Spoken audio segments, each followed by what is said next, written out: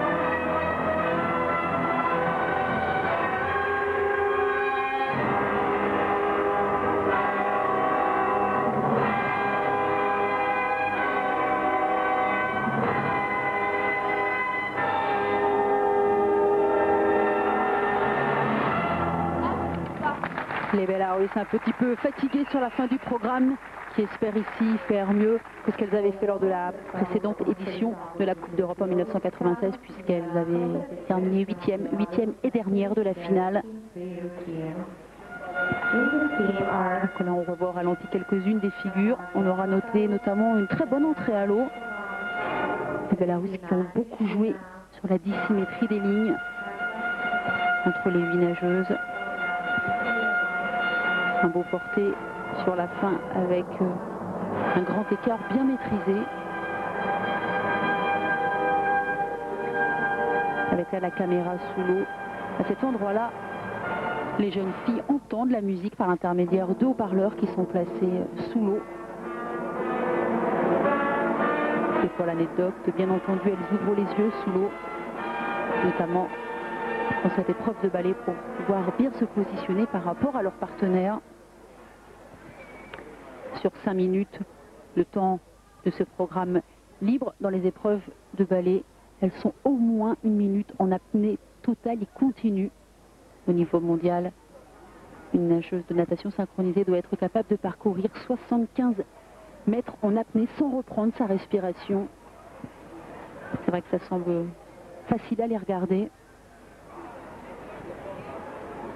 Pourtant, ce sont des heures et des heures d'entraînement, entre 4 et 6-7 heures selon les pays par jour, dont à peu près la moitié dans l'eau, avec des notes de 8,5 à 8,7 et en artistique de 8,7 à 8,8 avec un total de 86 points 733. Elles prennent la deuxième place pour le moment derrière les Ukrainiennes.